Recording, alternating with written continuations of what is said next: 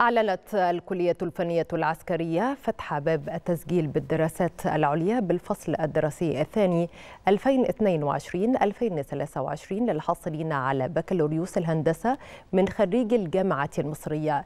يأتي ذلك في إطار حرص القيادة العامة للقوات المسلحة على الارتقاء بالمستوى العلمي والبحثي للمهندسين من العسكريين والمدنيين. ومن منطلق دورها الريادي في مواكبة تطورات ومتطلبات العصر. etc.